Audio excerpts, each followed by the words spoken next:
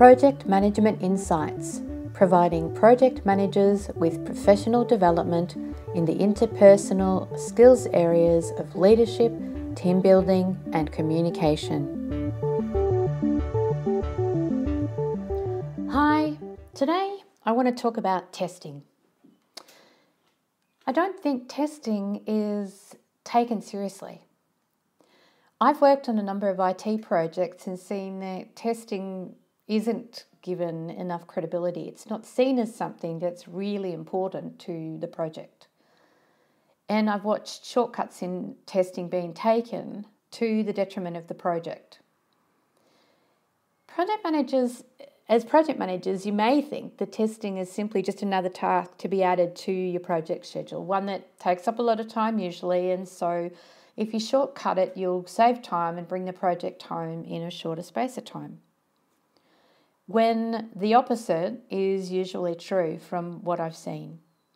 Shortcutting testing usually adds time to the overall project schedule. And what's worse is that it also impacts on your reputation, the reputation of you as the project manager. Why do I mention this? Well, you may think that there is no impact from testing if it's not done. And what I'm going to tell you is your thinking is wrong. If you, the project manager, take this shortcut, your project sponsor and project control board are likely to find out. Bottom line is that if this happens, then it's your reputation as the PM that's on the line. Sure, the testing team may be questioned, and what are they going to say? They will say that you made the decision to only test in a particular way. You were the one that shortcut the testing regime. Therefore, go back to the point, it's your reputation that's on the line. Testing and a testing team's responsibility is to thoroughly test. That may seem like overkill to you you might think there is too much testing being suggested. And what I say is think again. So, this is why I'm saying that it's ultimately your reputation that's on the line. If you're going to test, then do it properly.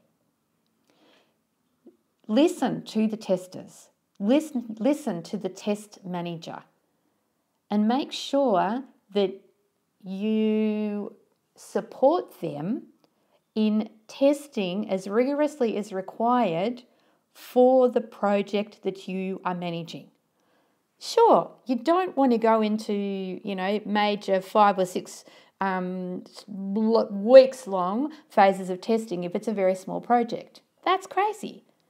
And if you are working on system implementation that is a large project and a large system with a lot of integrations, then your testing regime will be long because it's critical that you test everything in the right way.